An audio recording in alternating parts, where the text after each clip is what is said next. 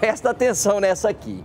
Imagine só, um amigo, Paraguai a gente chama de hermano também, Dudu? Chama? Paraguai? É, chama, né? Tudo, é, tudo é hermano aqui, né? É Paraguai, ou hermano, ou lá, tal, papá.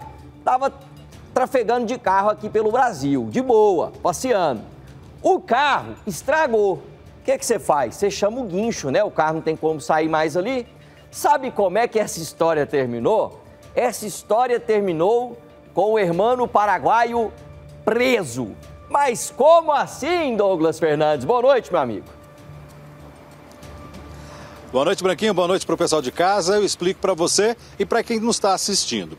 A Polícia Rodoviária Federal, uma equipe, estava fazendo um patrulhamento, intensificando o patrulhamento nas rodovias, justamente devido aí a esse feriado prolongado ali na BR-364, na zona rural de Jataí. Quando eles avistaram este veículo sendo transportado num guincho, observaram a placa, placa do Paraguai. Eles desconfiaram, falaram assim, oh, peraí, vamos fazer a abordagem deste guincho aqui foram quando eles fizeram a abordagem do guincho e começou a conversar com o motorista. O motorista falou: Olha, eu faço trabalho de guincho, recebi uma ligação porque o rapaz que me contratou disse que o carro tem uma pane mecânica. Então ele me chamou, ele é do Paraguai, lá em Chapadão do Céu, e a gente estava levando o carro para Jataí. Foi quando o senhor parou a gente. Beleza, até aí normal. Quando eles foram conversar com este homem de 34 anos, de nacionalidade paraguaia, ele começou a ficar nervoso, o que chamou a atenção dos policiais que já estão acostumados com esse tipo de rotina.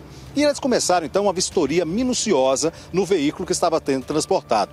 Para surpresa deles, foram encontrados vários compartimentos é, ocultos no carro que estava escondendo, sabe o que, Branquinho? Quase 100 quilos de maconha prensada pronta para ser entregue para distribuidores aqui da região metropolitana da capital e também lá da região de Jataí. Este homem acabou sendo preso em flagrante por tráfico de drogas e o motorista do guincho, felizmente, não tinha nada a ver com essa situação, foi liberado. Ah, com certeza, né? Pegou o serviço ali, achou que estava carregando um carro porque o carro estava estragado, mas estava lotado. Podia estar estragado, mas estava lotado de maconha. E o amigão paraguaio aí rodou. Volta, Jaque, por favor, bora continuar o nosso giro aqui